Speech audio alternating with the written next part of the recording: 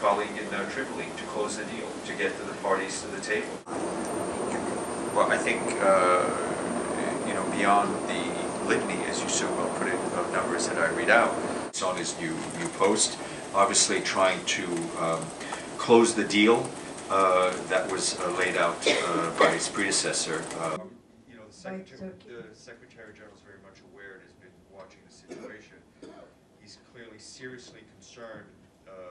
about the downing of the Russian, um, the Russian military jet by Turkish uh, Air Force earlier today. Secretary General urges all relevant parties to take urgent measures with a view to de-escalate the tensions. And he hopes that a credible and thorough review of the incident will clarify the events and help prevent future recurrences. And also, I think just to reiterate what the Secretary General has been uh, said uh, a number of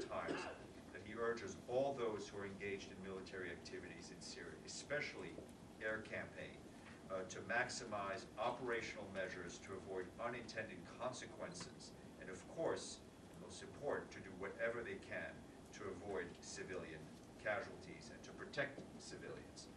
The Secretary General believes today's worrying developments once again underscores the importance of international unity and cooperation in international action against violent extremists in the region, as well as the urgent need to agree to a solution